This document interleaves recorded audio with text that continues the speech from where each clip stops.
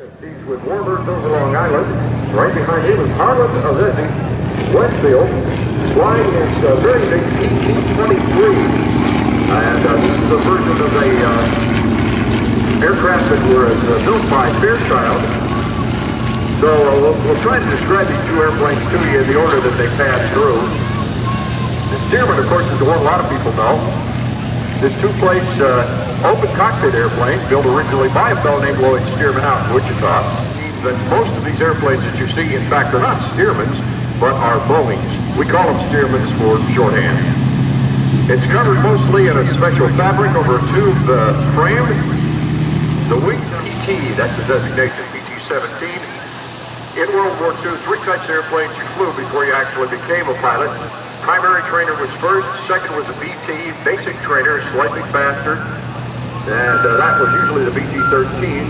And then there was the AT-6 or the advanced three speeds you need to know because it takes off, lands, and flies at 80 miles an hour. Actually, can do about 125 miles an hour, but that goes down with an angle of your lap. The other aircraft, and that's the one that uh, comes to show center right now, is the PT-23 flown by Fred Harlan of Red from Westfield. The PT-23 is a variation on uh, aircraft built by uh, Fairchild during World War II as a primary trainer. There was actually three different versions of it, the PT-19, the PT-23.